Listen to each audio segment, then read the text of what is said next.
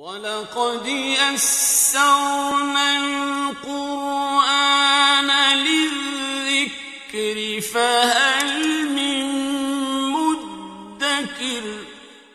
الحمد لله رب العالمين والصلاة والسلام على أشرف الأنبياء والمرسلين أما بعد فأعوذ بالله من الشيطان الرجيم من همزه ونفخه ونفسه. بسم الله الرحمن الرحيم رب اشرح لي صدري ويسر لي أمري واحلل عقدة من لساني يفقه قولي. اللهم انفعنا بما علمتنا وعلمنا ما ينفعنا وزدنا علما. وبشر عباد الذين يستمعون القول فيتبعون أحسنه. أولئك الذين هداهم الله أولئك هم أولو الألباب. فأرسلنا عليهم ريحا صرصرا في أيام نحسات لنذيقهم عذاب الخزي في الحياة الدنيا. ولعذاب الآخرة أخزى وهم لا ينصرون. وأما ثمود فهديناهم فاستحبوا العمى على الهدى فأخذتهم صاعقة العذاب الهون بما كانوا يكسبون ونجينا الذين آمنوا وكانوا يتقون أعوذ بالله من الشيطان الرجيم. بسم الله الرحمن الرحيم فأرسلنا عليهم ريحا صرصرا في أيام نحسات لنذيقهم عذاب الخزي في الحياة الدنيا بس ہم نے بھیجے، ہم نے بھیجا ان کے اوپر ریحن سرسرن ہوا، تیز ہوا۔ ایسی تیز ہوا جس کے اندر تیزی کی وجہ سے آواز بھی تھی۔ یا ہم نے ان کے اوپر ٹھنڈی ہوا بھیجی۔ دونوں تفسیریں ہیں سر سرن کی۔ اس کا مطلب انتہائی تیز آندھی والی ہوا جس کے اندر آواز بھی ہو، یا اس سے مراد وہ ہوا ہے جو بہت زیادہ ٹھنڈی ہو، ایسی ٹھنڈی ہوا جو جسم کے اندر خون کو ہی جما دے۔ تو ایسی ٹھنڈی تیز ہوا والی آندھی۔ فی ایام نحسات ان منحوس دنوں میں لنذیقہم عذاب الخزی فی الحیات الدنیا تاکہ ہم انہیں ذائقہ چکھائیں۔ عذاب الخزی رسوائی کا عذاب کا فی الحیات الدنیا، دنیا کی زندگی میں۔ ہم پڑھ رہے ہیں کہ اللہ تعالی قریشی مکہ کو مخاطب کرتے ہوئے فرما رہے ہیں۔ اس صورت کے شروع میں اللہ رب العالمین نے قریش مکہ کو دعوت دی ہے ایمان کی طرف۔ اور جو قریش مکہ کے کچھ غلط عقائد تھے، ان عقائد کا رد کیا ہے کہ وہ کیوں نبی کریم صلی اللہ علیہ وسلم پر ایمان نہیں لاتے تھے۔ وہ نبی کریم صلی اللہ علیہ وسلم کو کہتے تھے کہ یہ چونکہ انسان ہے، تو انسان نبی نہیں ہو سکتا۔ اور زکوٰۃ ادا نہیں کرتے تھے، اور شرک کرتے تھے۔ اور اللہ تعالیٰ نے انہیں دعوت دی ہے ایمان کی۔ اور پھر اللہ نے فرمایا ہے کہ اگر یہ قریش مکہ منہ موڑ لیں، اگر اللہ کی دعوت پر نبی کریم صلی اللہ علیہ وسلم کی تبلیغ پر اگر یہ ایمان نہ لائیں، اگر یہ منہ موڑ لیں، تو اے نبی صلی اللہ علیہ وسلم، آپ قریش مکہ سے کہیں کہ میں تمہیں عذاب سے ڈراتا ہوں۔ ویسا ہی عذاب جو پچھلی قوموں پر آیا، خاص طور پر جو قوم عاد اور قوم سمود پر عذاب آیا میں تمہیں ایسے عذاب سے ڈراتا ہوں۔ تو گویا کہ اللہ نے قریش مکہ کو قوم عاد اور قوم سمود جیسے عذاب سے ڈرایا ہے۔ پھر اللہ نے قوم عاد اور قوم سمود کا ذکر کیا ہے کہ قوم عاد اور قوم سمود کے پاس بھی رسول آئے تھے، روشن نشانیاں لے کر۔ اور انہوں نے بھی اپنی قوم کو توحید کی اور شرک سے بچنے کی دعوت دی تھی۔ تو قوم عاد اور قوم سمود کو بھی ان کی امت نے ان کا انکار کر دیا اور ان کا انکار کرنے کی وجہ انہوں نے یہ ذکر کی کہ چونکہ یہ انسان ہیں، فرشتے نہیں ہیں، لہٰذا اگر اللہ فرشتہ بھیج دیتے، اگر اللہ تعالیٰ فرشتوں کو بطور نبی اتار دیتے تو ہم ایمان لے آتے۔ انہوں نے کہا چونکہ یہ انسان ہیں، حضرت حضرت صالح علیہ السلام، تو انہوں نے کہا کہ کیونکہ یہ رشتے نہیں ہیں، انسان ہیں، لہٰذا ہم انکار کرتے ہیں۔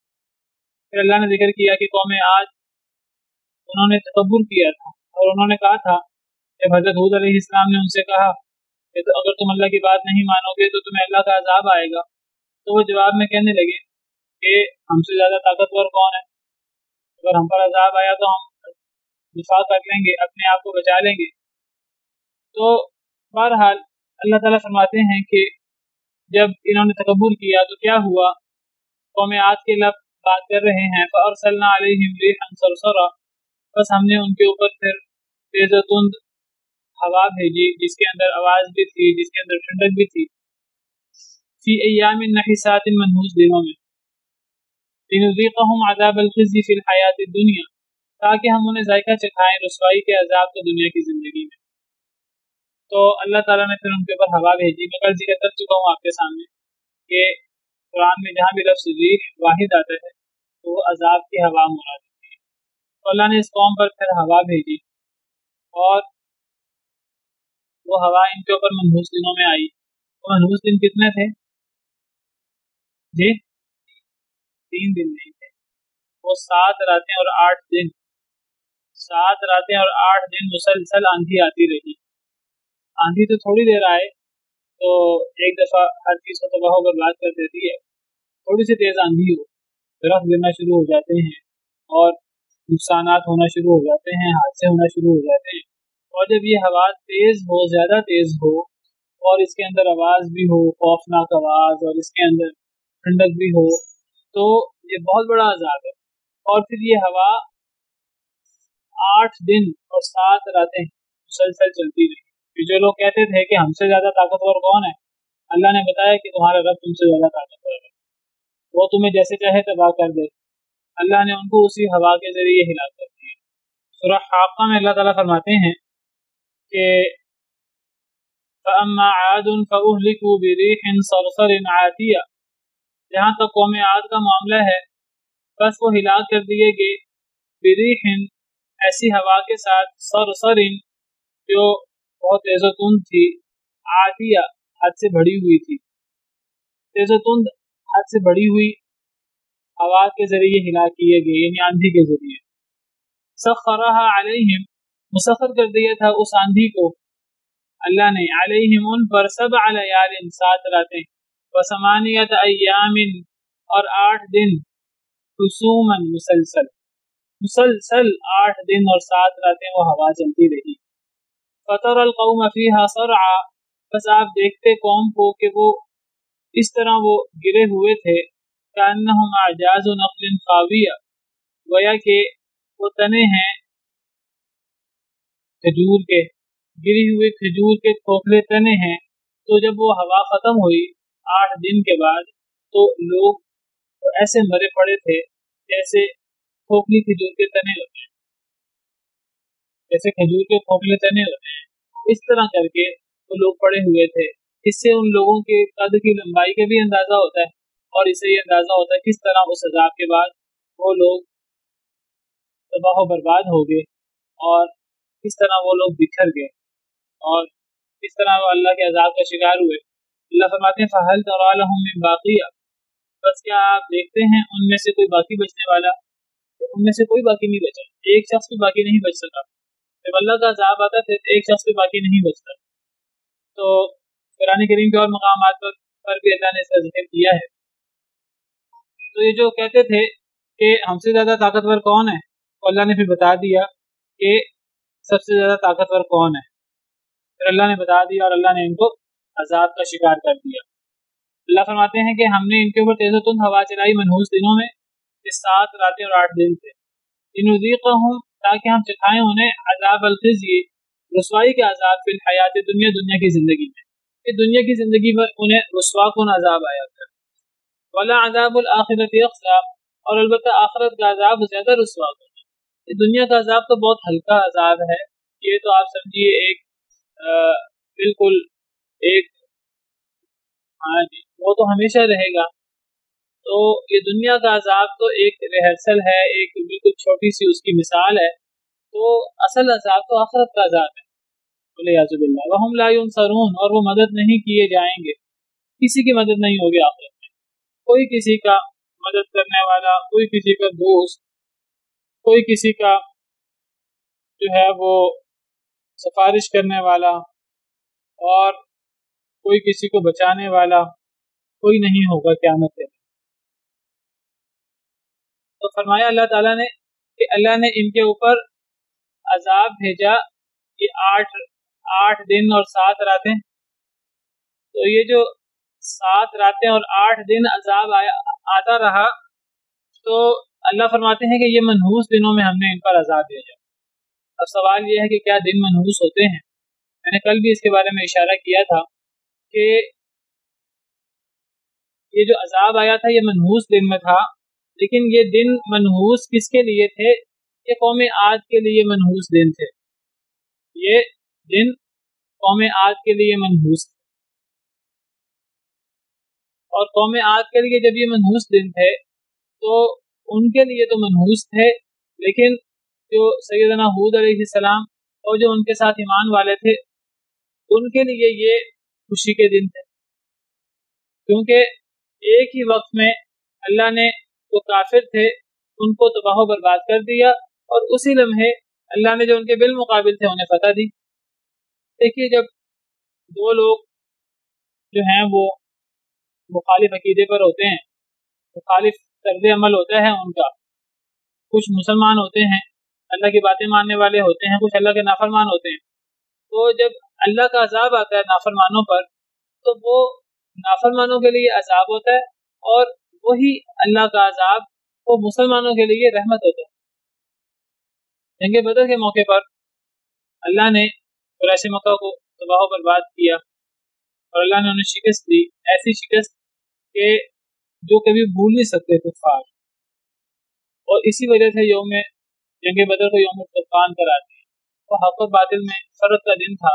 اس دن باطل باطل ذلیل ہوا اور حق کو غلبہ ہوا۔ اب وہ ایک ہی دن، ایک ہی وقت وہ باطل کے لیے منحوس تھا اور وہ اہل حق کے لیے وہ خوشی کا دن تھا۔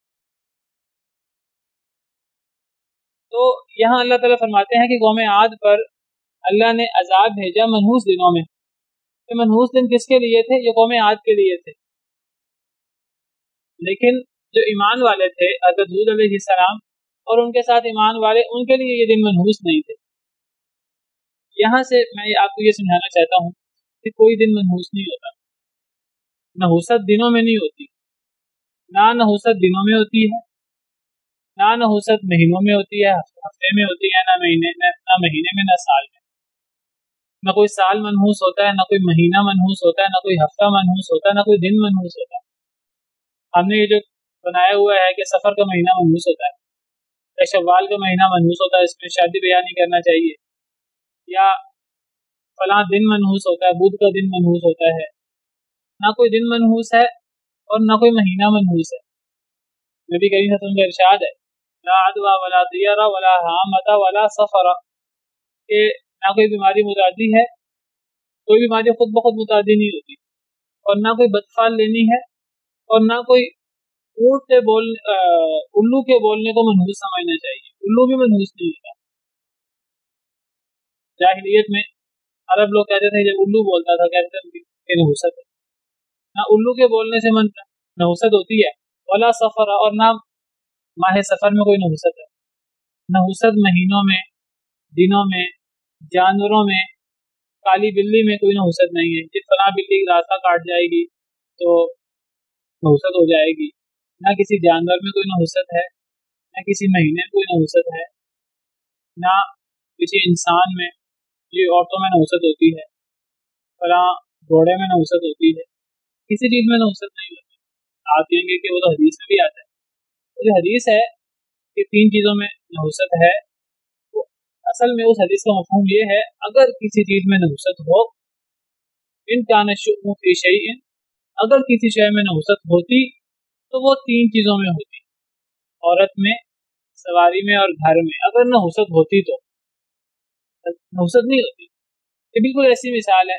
جیسے کہا جاتا ہے کہ اگر میں نے کسی انسان کو کسی انسان کے لیے سجدہ کرنے کی اجازت دینی ہوتی میں بیوی سے کہتا کہ وہ شوہر کو سجدہ کرے۔ لیکن نبی وسلم نے کسی انسان کو کسی انسان کے لیے سجدہ کرنے کی اجازت نہیں دی۔ سجدہ تعظیمی بھی منع ہے ہماری شریعت۔ تو یہ بات کرنے کا انداز ہے۔ اگر یہ ہوتی تو اس میں ہوتی، تو اگر نحوست ہوتی تو تین چیزوں میں ہوتی۔ بیوی اگر وہ نافر مانو اللہ کی، تو وہ بہت بڑا وبال ہوتی ہے۔ اور اسی طرح اگر ایک انسان اللہ کی نافرمانی کرے، تو اس کی سواری اس کے لیے منحوس بن جاتی ہے۔ اس کا گھر اس کے لیے منحوس بن جاتا ہے۔ اگر نہ ہو سکتا تو بات یاد رکھیے، کسی شہر میں نہیں ہو سکتی ہے نہ کسی عورت میں، نہ کسی مرد میں، نہ کسی سواری میں، نہ کسی گھر میں، نہ کسی جانور میں، نہ کسی مہینے میں، نہ کسی سال میں۔ نوست کسی شے کی نہیں ہوتی نوست ہوتی ہے وہ انسان کے برے اعمال کی ہوتی ہے۔ انسان کے گناہ کرنے کی ہوتی ہے۔ جو گناہ گار ہو، وہ منحوس ہوتا ہے۔ گناہ میں نحوست ہوتی ہے۔ اور جو گناہ کرنے والا ہو، وہ نحوست میں مبتلا ہو جاتا ہے۔ کبھی وہ نحوست ہمیں دن میں نظر آتی ہے۔ کبھی وہ نحوست ہمیں جانور میں نظر آتی ہے۔ کبھی وہ نحوست ہمیں اس کی بیوی میں نظر آتی ہے۔ وہ اگر نافرمان اللہ کا یا اس کی بیوی نافرمان کبھی اس کے جانور میں نظر آتی ہے، سواری میں نظر آتی ہے، کبھی وہ ہمیں کسی مہینے میں نظر آتی ہے۔ تو نحوست ہوتی ہے، لیکن وہ نحوست انسان کے اعمال کی ہوتی ہے۔ اس کا تعلق چیز کے ساتھ نہیں ہے، مہینے کے ساتھ نہیں ہے۔ اگر وہ اس چیز اور مہینے میں نحوست ہو نا، تو ہر ایک کے لیے ہو۔ وہ ہر ایک کے لیے نہیں ہے۔ وہ کس کے لیے ہے؟ وہ گناہ گار شخص کے لیے ہے۔ اصل میں نحوست گناہ کی ہے، یہ بات یاد نحوست کس کی ہے؟ گناہ کی۔ کافر کے لیے کوئی دن منحوس ہو سکتا ہے۔ جس دن کافر اللہ کی پکڑ میں آ گیا، دنیا میں بھی، قبر میں بھی، آخرت میں بھی، اس کے لیے منحوس دن ہوگا۔ جس دن وہ پکڑ میں آ گیا۔ جس دن وہ گناہ کرتا، گویا کہ اس کے لیے منحوس دن ہو جاتا۔ وہ گناہ کی وجہ سے اللہ کے عذاب میں آتا۔ ہے اللہ کے عذاب کی صورتیں ہو سکتی ہیں۔ وہ عذاب اس کو، اس کے، اس کی سواری کے اندر، سواری اس کے لیے موافق نہیں ہوگی۔ اس کی بیوی اس کے لیے سیٹ نہیں ہوگی۔ کسی بھی صورت میں اس کے سامنے آ سکتا ہے۔ تو بات یاد رکھیے۔ نوسط نوسط کا تعلق کسی چیز کے ساتھ نہیں ہے۔ اگر کسی چیز کے ساتھ ہو تو وہ ہر شخص کے لیے ہو۔ کسی چیز کے ساتھ نہیں ہے۔ وہ انسان کے اپنے عمل کے ساتھ انسان کا عمل منحوس ہے تو آپ سمجھیے اس انسان کے ساتھ نحوست کسی نہ کسی صورت میں آ ملے گی۔ وہ نحوست وہ کسی چیز کی نہیں ہوگی، وہ اس انسان کے اپنے عمل کی ہوگی۔ یہ قوم آگ پر جو عذاب آیا، یہ منحوس دنوں میں آیا اصل میں دن منحوس نہیں تھے۔ کہ ان کا عمل کی نحوست اس دن میں ان پر آ پڑی تو وہ اتنا وہ سخت عذاب تھا کہ اللہ نے اس دن کو منحوس قرار دے دیا، حالانکہ وہ دن منحوس نہیں تھا۔ آپ نقطہ یاد رکھیے، اگر وہ دن منحوس ہوتا تو وہ صرف قوم عاد کے لیے نہ ہوتا، وہ حضرت حود علیہ السلام کے لیے بھی منحوس ہوتا۔ وہ ایمان والوں کے لیے بھی منحوس ہوتا، ایمان والے کے لیے تو وہ منحوس نہیں تھا۔ میں نے جو مثال دیا یوم بدر کی، اس کو آپ مد نظر رکھیں۔ یوم بدر کافروں کے لیے منحوس تھا، لیکن مسلمانوں کے لیے کتنا خوشی کا دن ہے۔ حضرت موسا کو جس دن نجات ملی ہے فرعون سے، مجھے بتائیے، وہ خوشی کا دن ہے کہ غم کا دن ہے؟ وہ ہمارے لیے خوشی کا دن ہے۔ مطلب موسا کے لیے خوشی کا دن تھا۔ اور یہود جو ہیں، بنی اسرائیل، وہ اس دن کو خوشی کے طور پر مناتے تھے، روزہ رکھتے تھے اس دن کا۔ کیونکہ اللہ نے اس دن حضرت موسا کو نجات دی تھی، لیکن وہ دن اعلی فرعون کے لیے منحوس دن تھا۔ آپ بس یہ یاد رکھیے، یہ نحوست کا تصور ہے اسلام۔ اور کوئی تصور نہیں ہے، نحوست کا تعلق ہمارے عمل کے ساتھ۔ نہ کسی مہینے میں نحوست آپ کسی مہینے میں شادی کریں، کسی مہینے میں کاروبار کریں، کوئی مسئلہ نہیں ہے۔ اگر آپ کے کاروبار کے اندر اگر کوئی کمی گتا ہی نہیں ہے، اگر کوئی اللہ کی نافرمانی نہیں ہے، اور اگر نافرمانی ہے، شادی میں بینڈ باجا ہونا ہے، شادی میں اللہ کی نافرمانی ہونی ہے، شادی کے اندر اختلاط مرد و زن ہونا ہے، اس سے منحوس، اس سے زیادہ منحوس شادی کوئی نہیں ہے، چاہے وہ آپ رمضان میں کیوں نہیں کر رہے، چاہے وہ آپ ذوالحجہ کے بابرکت مہینے ان دس دنوں میں کیوں نہیں کرتے، چاہے وہ آپ بابرکت سے بابرکت دن میں ستائیسویں رات کو کیوں نہ کریں؟ چاہے وہ آپ عید کے دن کیوں نہ کریں وہ نوسط نوسط ہی نوسط ہے اگر اس میں اللہ کے نافرمانی ہوتی ہے، اگر اس میں اللہ کے دین کا مذاق اڑایا جاتا ہے، تو اس سے زیادہ نوسط کسی چیز میں نہیں ہے پھر ایسے شخص کے لیے، ایسے جوڑے کے لیے ہر چیز منحوس ثابت ہوتی ہے۔ وہ جو مرضی مہینہ ہو۔ اور اگر ایک شخص اللہ کو راضی کرنے کے لیے شادی کرتے ہیں لڑکا لڑکی، دو خاندان۔ اور اس میں اللہ کے احکامات کا دھیان رکھیں تو برکت ہی برکت ہے۔ وہ شوال کا مہینہ ہو، وہ سفر کا مہینہ ہو، وہ جو مہینہ بھی ہو۔ حضرت عائشہ فرماتی ہیں کہ اس دور سے چلا آ رہا ہے کہ شوال کے مہینے کو منحوس سمجھا جاتا تھا حضرت عائشہ کہتی ہیں، شوال میں کون سی نوزت ہوتی ہے؟ فرماتی ہیں کہ میری شادی شوال میں ہوئی۔ اور فرماتی تھی کہ مجھ سے زیادہ خوش خوش قسمت عورت کون ہوگی؟ کہ جس کو نبی نبی کریم صلی اللہ علیہ وسلم جیسا رشتہ ملا اور نبی کریم صلی اللہ علیہ وسلم سے شادی ہوئی فرماتی تھی مجھ سے زیادہ خوش نصیب عورت کون ہوگی؟ میری شادی شوال میں ہوئی ہے۔ تم کہتے ہو شوال میں نوسط ہوتی ہے۔ میری شادی شوال میں ہوئی ہے۔ میری شادی سے زیادہ بابر کی شادی کس کی ہوگی؟ تو جو بندہ اللہ سے ڈرنے والا اس کے لیے کوئی نوسط نہیں نہ کسی مہینے میں، نہ کسی دن میں، نہ کسی چیز میں، کسی چیز میں کوئی نوسط نہیں اور کسی چیز میں نوسط نہیں ہاں انسان کے بد اعمال اس کی نوسط انسان کے سامنے آ جاتی ہے جیسا قوم آج پر آ گئی۔ یہ منحوس دن کا ذکر قرآن میں جہاں بھی آئے اس سے مراد یہی ہے۔ ایک اور آیت میں اللہ تعالیٰ فرماتے ہیں۔ سورہ قمر میں آیت نمبر انیس، وہاں بھی قوم آج کا ذکر ہے۔ اور اللہ فرماتے ہیں، ان پیچھے ہے، آیت نمبر اٹھارہ میں ہے کرتبت آدم قوم آج نے جٹلایا ان کا عمل اصل میں منحوس تھا۔ انہوں نے کیا کیا؟ جٹلایا جٹلانا اتنا برا عمل تھا کہ اس کی نحوست پھر پڑھنی تھی۔ قوم آج نے جٹلایا فقی فقانہ عذابی و نظر بس پھر کیسا تھا میرا عذاب اور کیسا تھے میر... کیسی تھی میری ڈرانے کی باتیں؟ ان اور صلی اللہ علیہ سرسرا پھر ہم نے ان کے اوپر تیز و تند ہوا بھیجی۔ فی یوم نحس مستمر۔ جو ایک منحوس دن میں چلتی جو منحوس دن میں چلتی رہی۔ مستقل۔ یہاں بھی منحوس دن ہے۔ وہ دن منحوس نہیں، یہ بات یاد رکھیے۔ اگر وہ دن منحوس ہوتا تو وہ حضرت دھوپ کے لیے بھی۔ اور ایمان والوں کو یہ منحوس ہوتا۔ وہ دن ان کے لیے منحوس رہا اور منحوس دن نہیں تھا۔ وہ منحوس کیا چیز تھی؟ تہذیب منحوس تھی۔ تو جو انہوں نے جٹلایا ان کا یہ عمل اتنا منحوس تھا کہ اس عمل کا وبال تھا۔ وہ جس دن پڑ جائے، سب سے بابا کا دن جمعے کا دن۔ اگر ان لوگوں پر آٹھ دن یہ عذاب آتا رہا، تو کیا جمعے کا دن نہیں ہوگا ان میں؟ تو ان کے لیے تو جمعے کا دن بھی منحوس ہو گیا۔ کیا خیال ہے؟ حالانکہ جمعے کا دن حدیث میں آتا ہے کہ سب سے افضل دن ہے۔ سات دنوں میں سب سے افضل دن کون سا جمعے کا دن۔ تو یہ بات یاد رکھیے کہ کسی دن میں کوئی نوسط نہیں ہے، نوسط ہمارے عمل کی ہے۔ اللہ ہمیں معاف کرے۔ عمل کی نوسط ہوتی ہے۔ اگر ایک انسان انسان اپنا عمل ٹھیک کر لے، نہ کسی دن میں نوسط ہے، نہ کسی مہینے میں نوسط ہے، نہ کسی جاندار میں نوسط ہے۔ تو یہ ایام نقصات یہ قوم عاد کے عمل کے حوالے سے ان دنوں کو محبوس قرار دیا گیا، والا دن محبوس نہیں پھر فرمایا، یہ تو قوم عاد کا ذکر ہے۔ پیچھے ہے کہ اگر قریش مکہ ایمان نہ لائیں تو اے نبی آپ فرما دیجیے میں تمہیں قوم عاد اور قوم سمود جیسے عذاب سے ڈراتا ہوں۔ قوم عاد کے عذاب کا ذکر تو آ گیا، قوم سمود پر اللہ کا کیا عذاب آیا تھا؟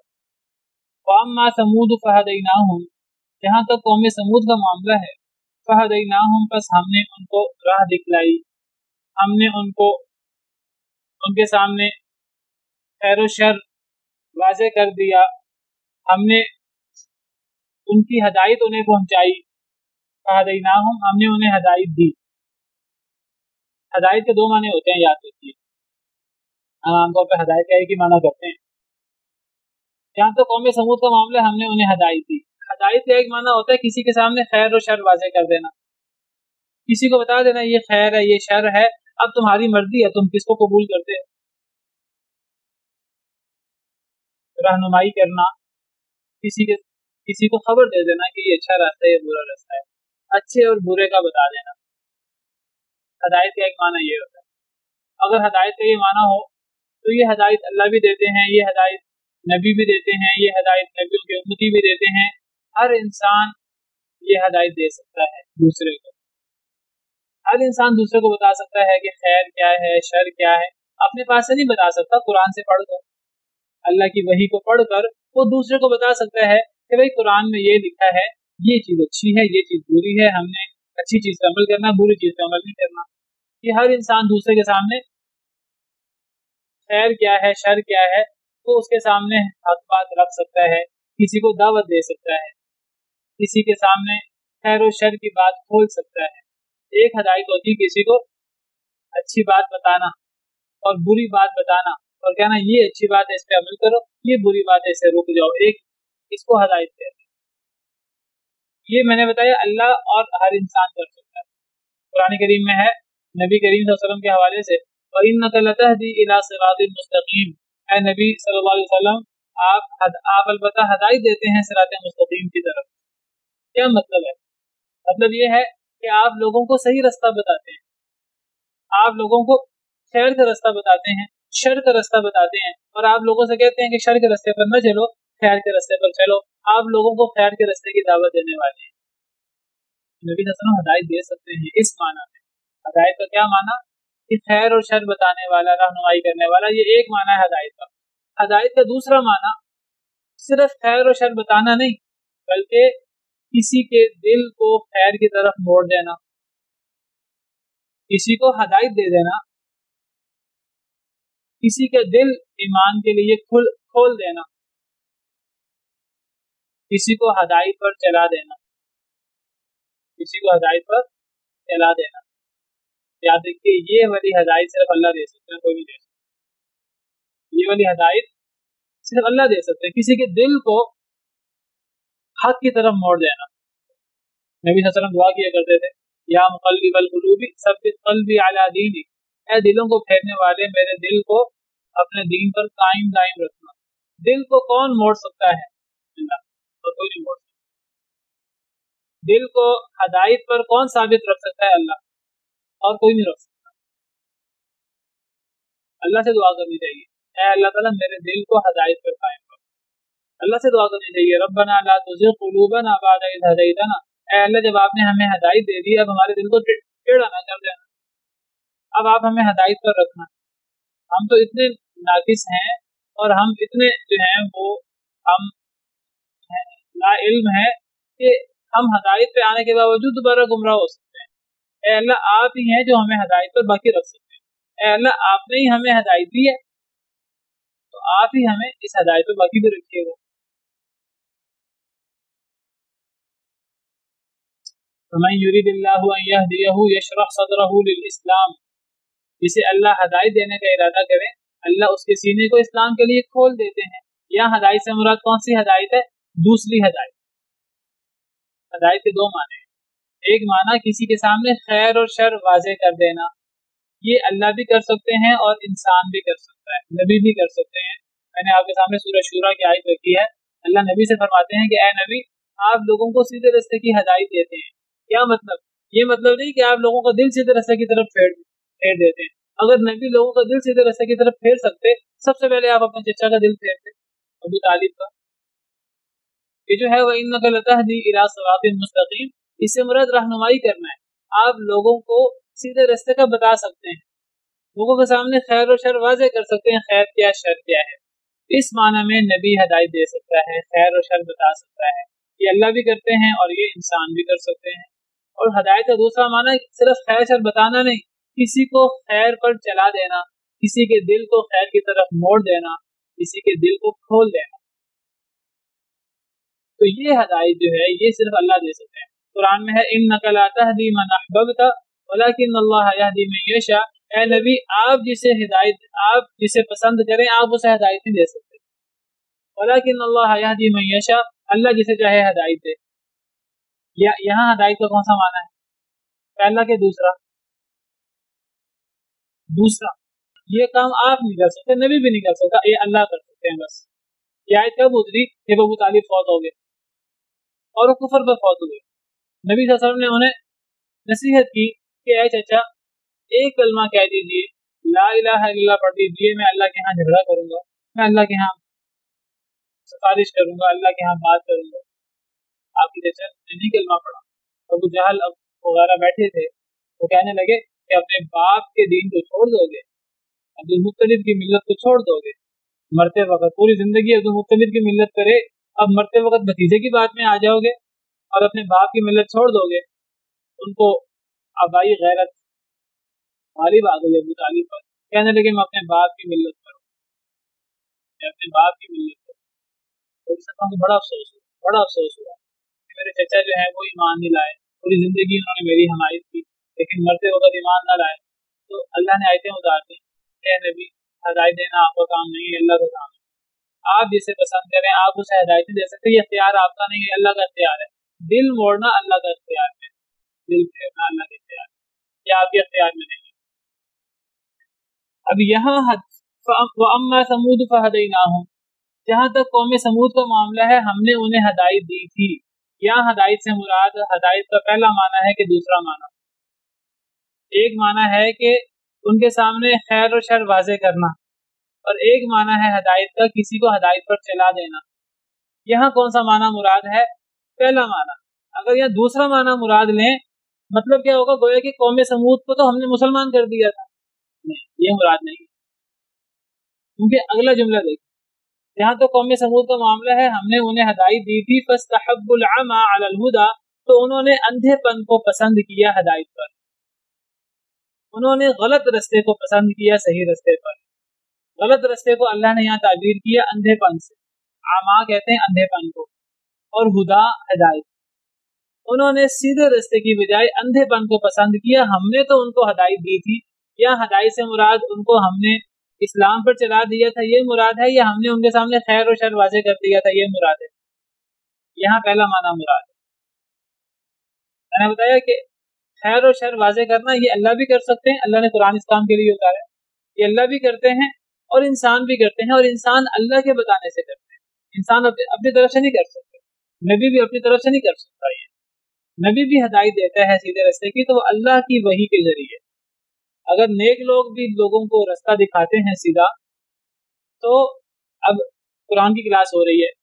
تو ہم قرآن کریم پڑھ رہے ہیں، قرآن کریم سیکھ سیکھ رہے ہیں، تو تعلیم و تعلم کر رہے ہیں، ہم اچھی باتیں کر رہے ہیں، خیر کی باتیں یہ ہیں، بری باتیں یہ ہیں۔ ہم ایک دوسرے کو خیر کی بات بتا سکتے ہیں چلا نہیں سکتے بتا سکتے یہ خیر ہے، یہ شر ہے۔ انسان بھی بتا سکتے ہیں خیر و شر، اللہ بھی خیر و شر بتاتے ہیں۔ پہلا معنی ہدایت کا۔ لیکن جو دوسرا ہدایت کا معنی وہ صرف اللہ کے ہاتھ میں ہے، وہ ہمارے ہاتھ میں نہیں ہے۔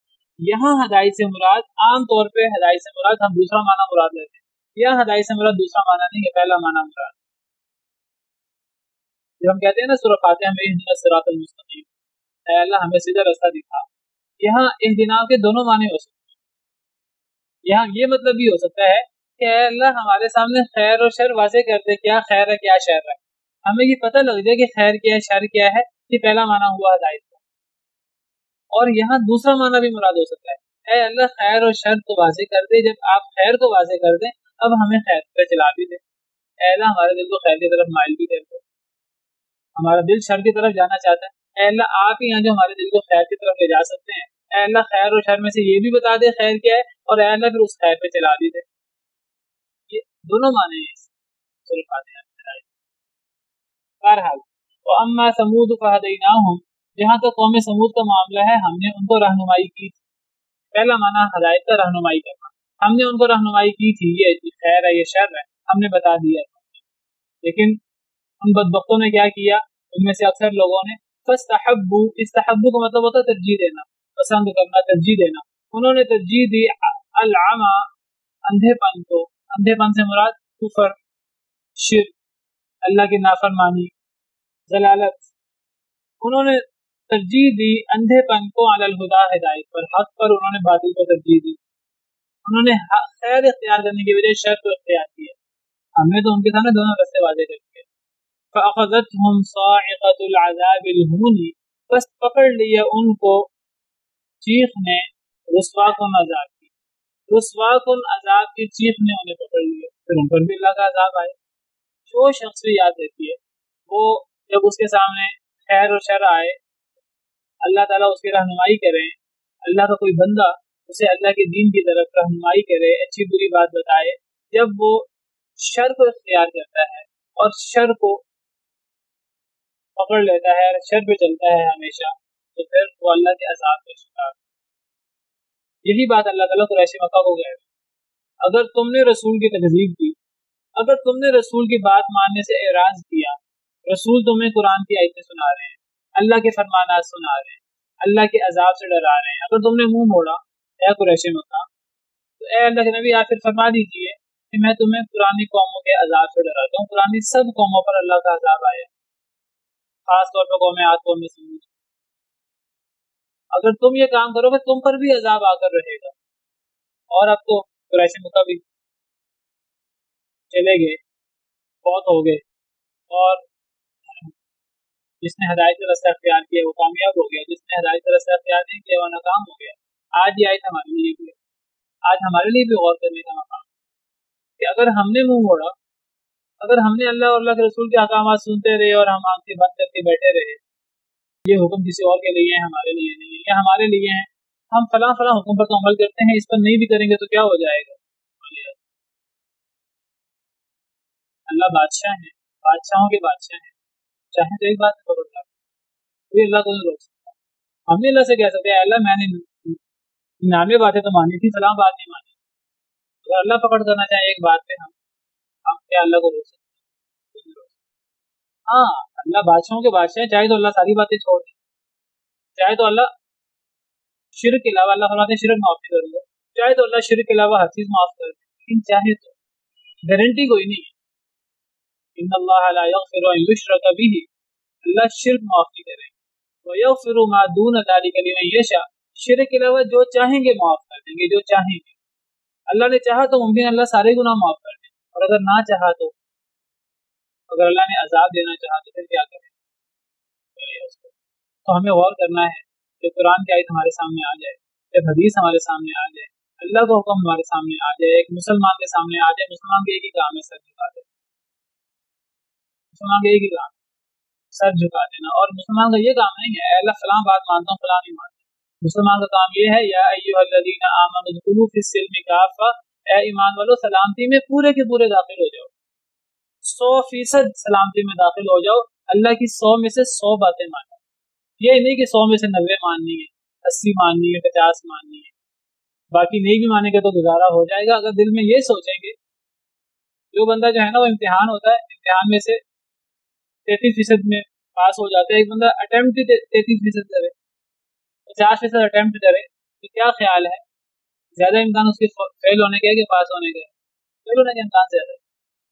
انسان کو کیا انسان کو کیا کرنا چاہیے؟ ذہنی اسٹوڈنٹ ہوتے ہیں، جو اچھے اسٹوڈنٹ ہوتے ہیں، وہ پورا پیپر اٹمپٹ کرتے اور نہ صرف پاس ہوتے ہیں، اچھے نمبر لیتے ہیں۔ انسان پورا پیپر اٹمپٹ کرے، ممکن ہے کہ پھر اس کے باوجود اس کے پچاس نمبر آئے پھر اس کے ممکن ہے کہ چالیس نمبر آئے، تینتیس نمبر آئے۔ ایک انسان اٹمپٹ ہی تینتیس تینتیس فیصد کرے تو پاس کہاں سے ہو اگر ہم یہی سوچتے رہے کہ جی ہم اللہ کی ساری باتیں نہ بھی مانیں تو پھر بھی اللہ معاف کرنے والا اگر اللہ نے معاف نہ کیا تو ممکن اللہ معاف کر میں یہ نہیں کہہ رہا اللہ نہیں کریں گے ممکن ہے کر دیں اور ممکن نہ کریں دونوں باتیں ہو سکتی ہیں۔ اگر نہ کیا تو کیا کریں کچھ چیزیں ایسی ہیں کہ جن کے بغیر ایک بندہ اگر نبے فیصد بھی مان لینا ننانوے بھی مان لے، ایک نہ مانے تو وہ ایک پورے سو پر حاوی ہوتی ہے۔ اگر توحید، کوئی بندہ توحید نہیں مانتا، اس کی ساری نیکیاں جو ہے نا ایک بندہ نبی کریم صلی اللہ علیہ وسلم پر ایمان نہیں رکھتا کوئی بندہ اگر ایمانی یاد کی کسی چیز میں کوئی ایک چیز بھی انکار کر دے، وہ کافر ہو جائے۔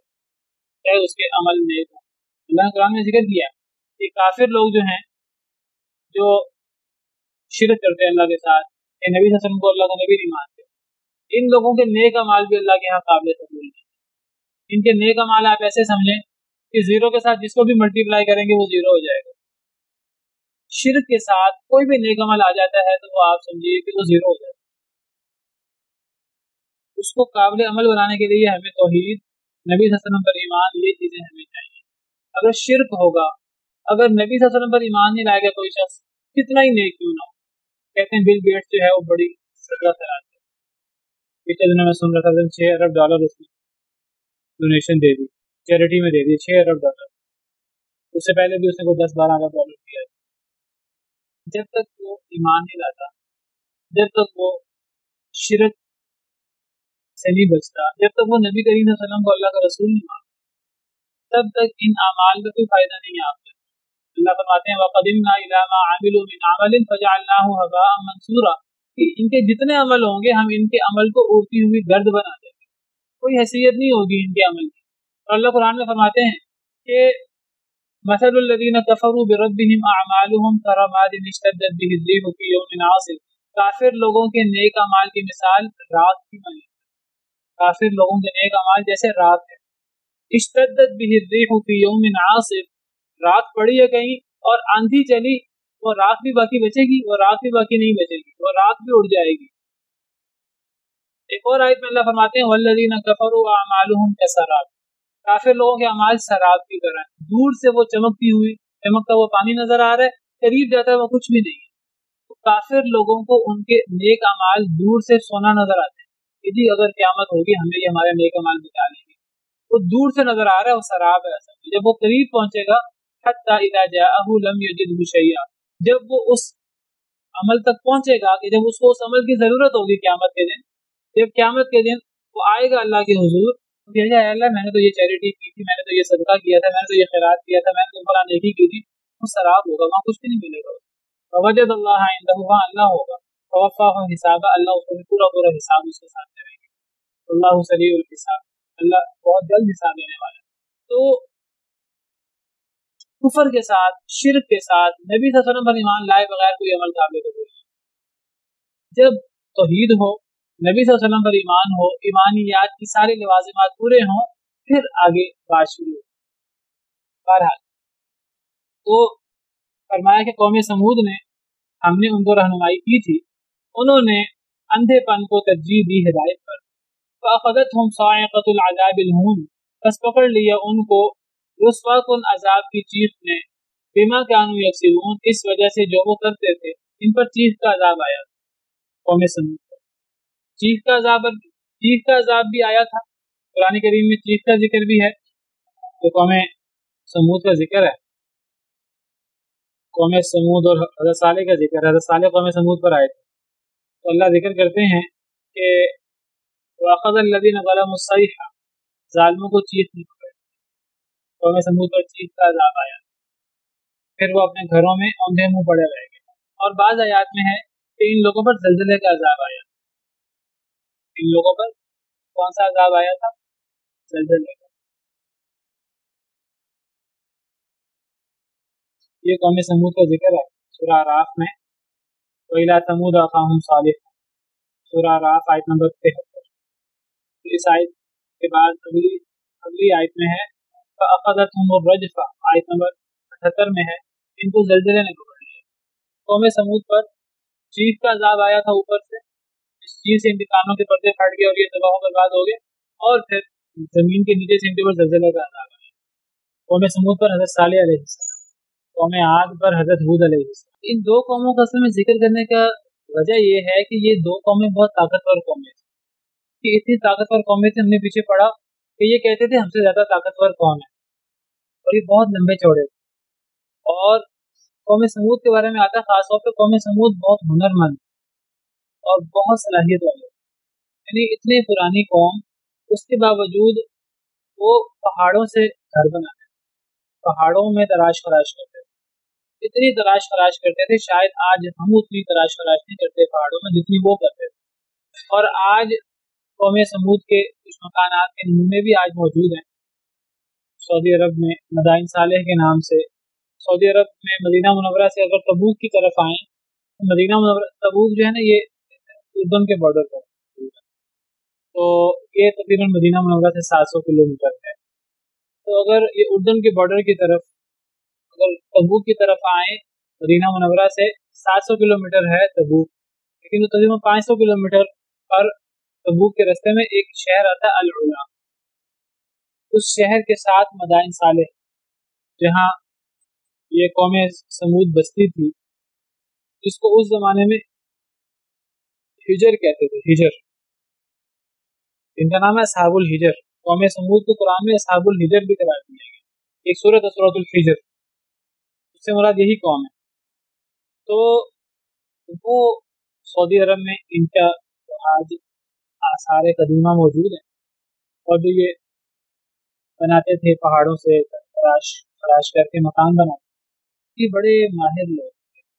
صنعت، حرفت اور ان چیزوں میں بہت آگے تھے۔ یہ طاقتور بھی طاقتور بھی بہت زیادہ تھے، مالدار بھی بہت زیادہ تھے اور ترقی ترقی یافتہ بھی بہت زیادہ لیکن جب اللہ کا عذاب آتا ہے تو اللہ کے عذاب کے بالمقابل نہ طاقت فائدہ دیتی ہے، نہ مال و دولت، نہ اقتدار اور نہ ترقی۔ کوئی ترقی، ہم آج کہتے ہیں ہم ہم اکیسویں صدی میں رہتے ہیں۔ اور ہم نے اتنی ترقی کر لی ہے، یہ ترقی جب اللہ کا عذاب آتا ہے تو کوئی ترقی فائدہ نہیں دیتی انسان کی کوئی حیثیت نہیں ہے اللہ کے سامنے۔ تو انسان کو اللہ کی نافرمانی کرتے وقت اپنے سامنے پرانی قوموں کی حالت سامنے رکھنی پرانی قوموں پر جو اللہ کا عذاب آیا، اللہ نے قرآن میں جو جگہ جگہ پرانے قصے بیان کیے ہیں، ان کا مقصد یہ ہے۔ وہ کہتے ہیں جی کہ پرانے لوگوں کی کہانیاں ہیں، اساطیر الاولین یہ اساطیر نہیں ہے ان کا ایک ایک حرف جو ہے نا، وہ جیتا جاتا ہے۔ اور ایک ایک حرف اپنے اندر عبرت لیے ہوئے پرانے قصے پڑھیں، اور پرانے قصوں میں پڑھیں کہ جب لوگوں نے اللہ کے نافرمانی کی تو پھر اللہ نے ان کے ساتھ کیا جب اللہ نے ان کے ساتھ یہ کیا تو اللہ تعالیٰ ہمارے ساتھ نہیں کر سکتے، بس اس انداز سے اس کو یہ بالکل دیکھنا چاہیے۔ اللہ قرآن فرماتے ہیں کل سیرو فی الارض فانظروا کیف کان عاقبۃ المکذبین زمین میں چلو پھرو اور دیکھو کہ کیسے انجام ہوا جو والوں کا۔ نصیحت حاصل کرنے کے لیے، عبرت کے لیے جانا چاہیے۔ لیکن ہم جو پکنک کے لیے جاتے ہیں نا، اس کے لیے نہیں جانا چاہیے۔ پکنک کے طور پر، سیر و تفریح کے طور پہ جانا چاہیے۔ ڈرنے کے لیے اور نصیحت حاصل کرنے کے لیے جانا چاہیے۔ جی جی وہ اس کو وہ جو ابرہ جن پر عذاب آیا تھا، جب اس جگہ سے گزرے، جب ہم جائیں نا، مینا سے مزدلفہ اور عرفات کی طرف جائیں تو رستے میں وہ مقام آتا ہے جہاں ابرہ پر وہ جو خانہ کعبہ کو ڈھانے آیا تھا۔ تو اس ابرہ پر جو پتھر وغیرہ برسے تھے، تو نبی صلی اللہ علیہ وسلم نے فرمایا کہ یہاں ٹھہرنے کی ضرورت نہیں ہے، تو یہاں سے تیزی سے نکلو۔ مچھلی حرام نہیں پنکھے کہیں سے بھی اٹھائی جا سکتی ہیں لوگوں نے جگہ محسوس کی ہوئی ہے کوئی جگہ مخصوص تھی کہیں سے بھی اٹھائی جا سکتی ہے۔ تو ایک جگہ پر نبی حسن نے یہاں سے تیز نکلو جلدی نکلو، یہاں عذاب آیا۔ تو جہاں اللہ کا عذاب آیا ہو، وہاں انسان کو زیادہ ٹھہرنا نہیں چاہیے۔ لیکن انسان وہاں عبرت حاصل کرنے کے لیے جا سکتا ہے۔ پکنک کے لیے نہیں جا سکتا تو ہمیشہ پرانے قوموں کے حالات ہمارے سامنے ہونے چاہیے، خاص طور پہ قوم عاد اور قوم سمود اللہ فرماتے ہیں وَنَجَّيْنَ الَّذِينَ آمَنُوا وَكَانُوا يَتَّقُونَ۔ اور ہم نے نجات دی ان لوگوں کو جو ایمان لائے اور جو ڈرتے تھے۔ اللہ نے قوم آج کا ذکر کیا، قوم ثبوت کا ذکر کیا۔ ان کے اکثر لوگ تباہ و برباد ہو گئے۔ اللہ کے عذابوں کا شکار ہو گئے، لیکن سارے نہیں ہوئے۔ جو ایمان لائے تھے، ان میں سے چاہے وہ تھوڑے تھے۔ جو حضرت حود علیہ السلام کے ساتھ ایمان لائے، جو حضرت صالح علیہ السلام کے ساتھ ایمان لائے، اللہ نے باقاعدہ ذکر کیا ہے کہ ہم نے ان کو نجات دی تھی۔ اگر کافر لوگوں پر قوم حود میں سے قوم صالح میں سے، قوم سمود میں سے کافر لوگوں پر عذاب آیا تو وہ عذاب زیادہ لوگوں کے لیے تھا جو کافر تھے، ان کے لیے تھے، جو مومن تھے، جو متقی تھے، ان کے لیے وہ عذاب نہیں تھا، ان کے لیے تو وہ خوشی کا دن تھا۔ اللہ نے ان کو کافروں سے نجات دے دی تھی، کافروں کے ظلم و ستم سے۔ اور اللہ نے ان کو سرخرو کیا۔ جس طرح میں بابا ذکر کر رہا ہوں جن کے بدر کا دن، صحابہ کرام کے لیے سرخرو ہونے کا فتح کا دن تھا اور کافروں کے لیے وہ منحوس دن تھا۔ تو اللہ فرماتے ہیں الذین آمنوا وکانوا یتقون ہم نے ایمان والوں کو اور تقوی اختیار کرنے والوں کو نجات دی تھی، تب بھی، شروع میں بھی اور آئندہ بھی اللہ ایسے ہی کرتے رہیں گے۔ آئندہ بھی اللہ ایمان والوں کو، تقوی والوں کو نجات دیتے رہیں گے۔ اور اللہ نے نافرمانوں کو تقزیب کرنے والوں کو، نہ ماننے والوں کو پہلے بھی تباہ و برباد کیا، اللہ آئندہ بھی کرتے رہیں گے اور قیامت تک اسی صورت دیتا رہے سبحان اللہ۔